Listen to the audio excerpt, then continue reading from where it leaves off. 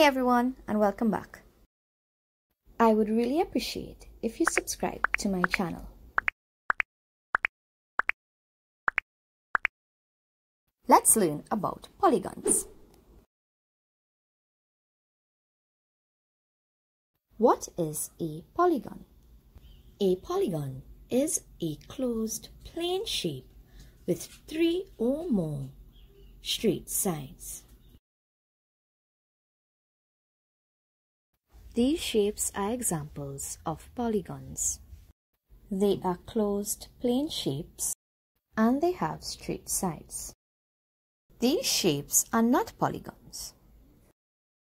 They have crossed lines, curved edges and are open.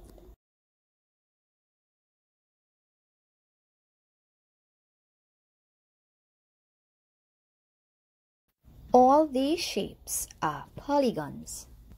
They are all regular polygons because all of the sides are equal.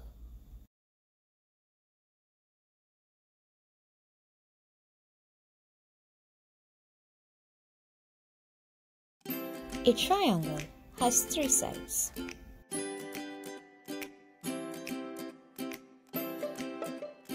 A quadrilateral has four sides.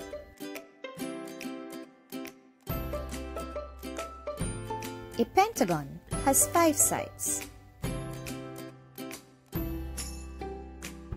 A hexagon has six sides.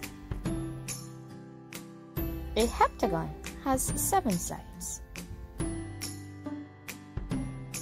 An octagon has eight sides. A nonagon has nine sides. A decagon has ten sides. All these shapes are polygons.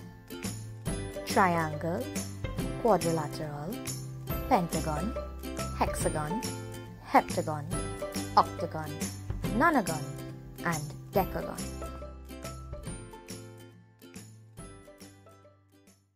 These are all regular polygons because all of their sides are equal.